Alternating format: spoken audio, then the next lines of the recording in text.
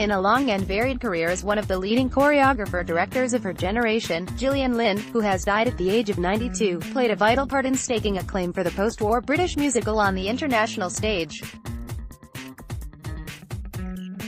During her career-defining partnership with Andrew Lloyd Webber, she was responsible for imbuing Cats with its sinewy, feline physicality and lending romantic grandeur and poetic intimacy to the Phantom of the Opera, two blockbuster shows that remain cornerstones of musical theatre in the West End and on Broadway.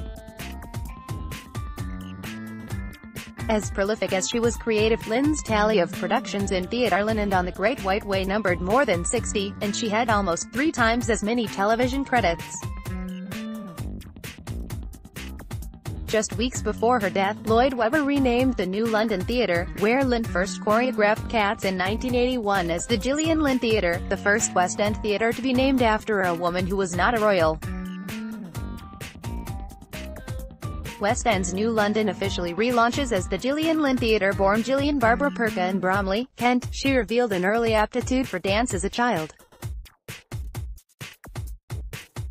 She had a dedication and determination to learn that followed her throughout a long career beginning in the mid-1940s as a member of Molly Lake's touring company.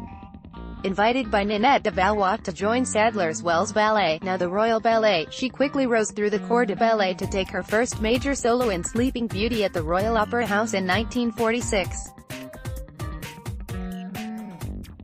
During her five-year spell with the company she created roles for Frederick Ashton and Robert Helpmann and made an early claim to fame as the Black Queen in de Valois' signature ballet, Checkmate. Lynne's transition into musical theatre was as successful as it was seamless, catching approving attention alongside Peggy Mount and Terry Thomas in the 1951 London Palladium pantomime Humpty Dumpty. She added luster to her growing profile as Claudine in Cole Porter's Can-Can at the London Coliseum in 1954. In the 1960s, Lynne's career blossomed on stage and screen and she made her debut as a choreographer on Western Ballet Theatre's The Owl and the Pussycat in 1961, the first of three collaborations with Dudley Moore. Originally seen at the Edinburgh Festival, Collages, their 1963 fusing of jazz, classical and character dance, enjoyed a short run at the Savoy Theatre and refashioned the direction of Lynne's career. Her first major success as a choreographer came with Pickwick, starring Harry Secombe, at the Saville Theatre in 1963, which briefly appeared on Broadway in 1965. Earlier the same year, she had made her New York debut with Leslie Bricusse and Anthony Newley's The Roar of the Grease Paint, The Smell of the Crowd, first seen at the Theatre Royal, Nottingham in 1964. Bill Owen and Tony Russell's Victorian era The Match Girls, a musical retelling of the first workers' strike led by factory women, gave Lynne her debut West End directing credit in 1966 at the Globe Theatre. She went on to direct Love on the Dole at Nottingham Playhouse in 1970, the Tom Lehrer Revue Tomfoolery at Criterion Theatre a decade later, and the 1986 revival of Kander and Ebb's Cabaret at the Strand Theatre. Gillian Lynne choreographing The Phantom of the Opera Photo, Conrad Blakemore From the 1980s onwards, Lynne was to take virtual residency in the West End and on Broadway with Cats and the Phantom of the Opera, which has occupied Her Majesty's Theatre since 1986 and is the longest-running show in Broadway history, establishing high watermarks for the contemporary British musical and earning Lynne an Olivier Award for Cats and two Tony Award nominations. She reunited with Lloyd Webber and Cats director Trevor Nunn for aspects of Love as the Prince of Wales Theatre in 1989 and on Broadway.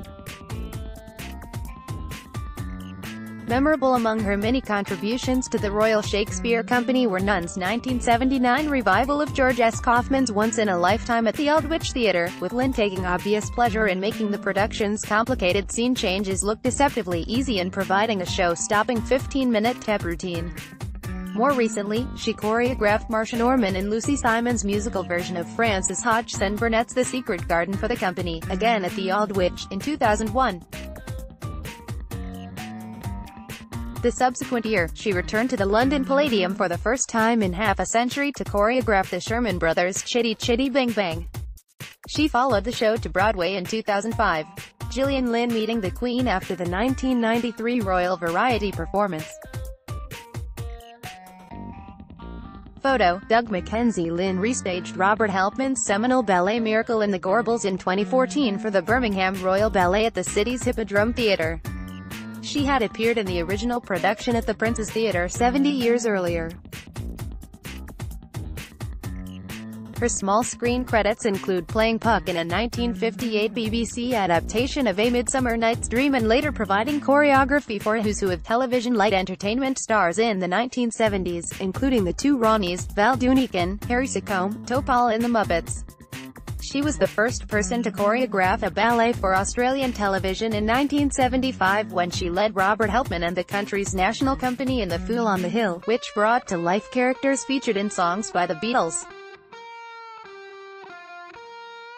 In 1988, she won BAFTA's Huw Wheldon Award for A Simple Man, her television portrait of the painter L.S. Lowry, originally staged by Northern Ballet and featuring Albert Finney, Christopher Gable and Moira Shearer.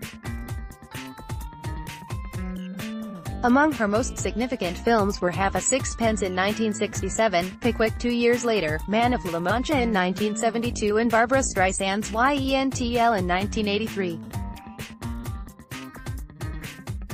Her 2011 autobiography, A Dancer in Wartime, was nominated for a Society of Theatre Research Prize and she received an Olivier Lifetime Achievement Award in 2013. She was made a dame the following year. Gillian Barbara Lynne was born on February 20, 1926 and died on July 1. She has survived her husband, the actor Peter Land. Gillian Lynne, a life remembered.